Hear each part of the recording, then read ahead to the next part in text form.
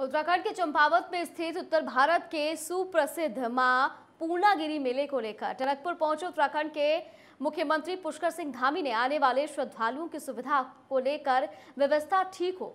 इसको लेकर अधिकारियों की एक बैठक की है। किसी भी प्रकार से आने वाले श्रद्धालुओं को परेशानियों का सामना ना करना पड़े, उसको लेकर भी अधिकारियों को निर्देशित कर दिया गया है। पूर्णागिरी का जो हमारा धाम है, इस पर पूरे उत्तर भारत का, इस क्षेत्र का लगने वाला सबसे बड़ा मेला है। जहाँ पर पूरे उत्तर भारत के लोग आते हैं, श्रद्धालु आते हैं, पड़ोसी देशों से भी आते हैं। उत्तर प्रदेश से आसपास के क्षेत्रों से सभी का आना होता है।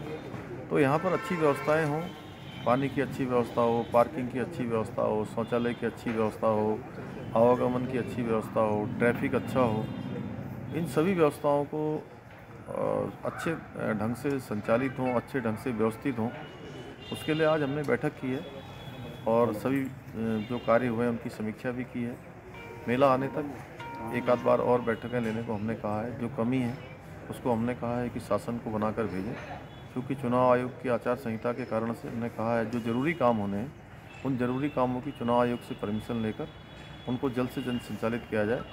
हमारा उद्देश्य है कि हमारे उत्तराखंड का ये सभी मेलों में से एक प्रमुख मेला है, माँ पूर्णागिरी को धाम में लगने वाला मेला।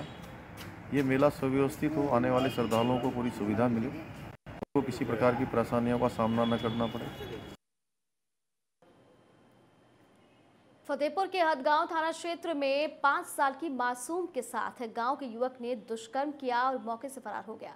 वहीं जब इस घटना की जानकारी परिजनों को हुई तो परिजनों ने इस घटना की लिखित तहरीर पुलिस को दी है, जिसके बाद पुलिस कई धाराओं में मुकदमा दर्ज करते हुए आरोपियों को गिरफ़्तार कर जेल भेजने की कार्रवाई में जुटी हुई है।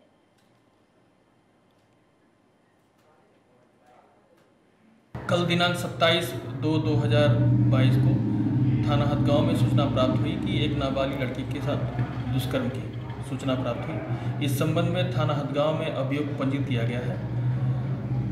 अभियुक्त को गिरफ़्तार कर लिया गया है। आगे की विधिक कार्रवाई की जा रही है।